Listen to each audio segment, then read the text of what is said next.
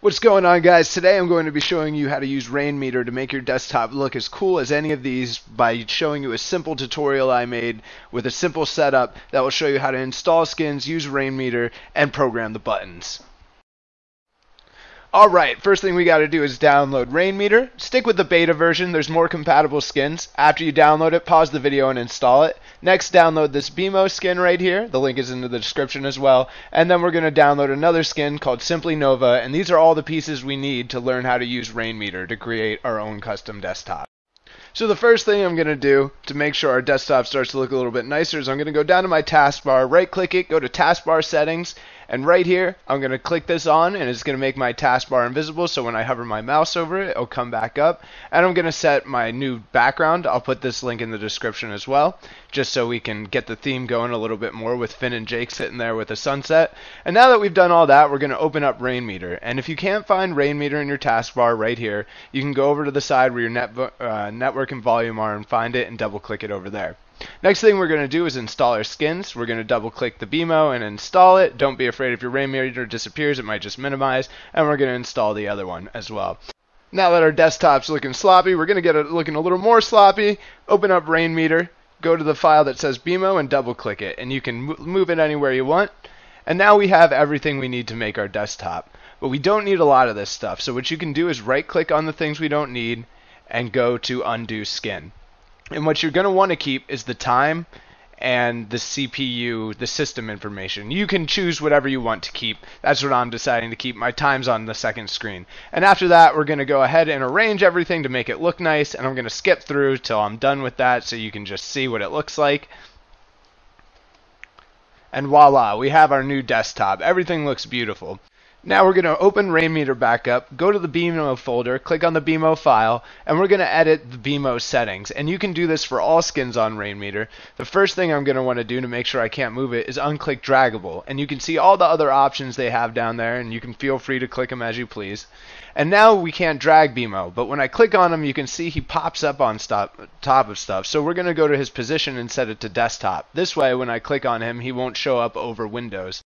Now we're going to do the same thing for our Simply Nova skins by opening up the Simply Nova folder, going to time and date for the time and date one, and copying the same thing you did for BMO, and then going to meters and system and doing the same thing. And after you've done all that, be sure to hit refresh. And after you do that, you'll be able to see you can't move anything, and everything will stick where you put it. And that's perfect. But now we have BMO on our desktop. But it's a little bit useless because his buttons won't really do anything when we press on them, and we have no icon, so how the hell are we supposed to open our folders? Well, the plus does something, it opens Steam. So now I'm going to show you how to program buttons on Rainmeter, and this will work for other skins as well. So you're going to right click on BMO, or whatever skin you want to edit the button on, and hit Edit Skin. So this notepad probably looks intimidating, but it's all super simple. So as you can see, on the top it says plus button and there's this path right here to a program next to left up mouse action or whatever it's called. So all you have to do to program these buttons is paste a path in between those quotes under left up action mouse button. And I'm going to show you how to do that. It's really simple. All you got to do is find a program that you want. In this case, I'm going to use my video editing program. And you're going to hold shift, hold shift, right click, and go to copy path. And if you don't have that option when you right click, just regular right click, and where it says target, you can just copy what's in between these two quotation points where I'm highlighting on the screen and paste that in as well. And if you can't get that, the third way of doing it is go to open file, right click, open file location. Then you're going to go ahead and copy the name of the program you want to run. Click on the top bar right here. Click so you can paste it in on the end find the fucking name in the drop down list, copy that path right there, and now you have your path. But hopefully the first way will work and you won't have to do any of these other ways. Now that we have our path location copied, all we have to do is paste it in under left up action button. I'm sorry, I'm probably saying it wrong. And make sure that there's only one pair of quotations around it. See, I'm deleting these. Just make sure it only has one set like that. And if you wanted to program it to any other button, all you'd have to do is the same exact thing under the other button. And what you can see me doing here, I'm just going to paste it in and then I'm going to save our document right here.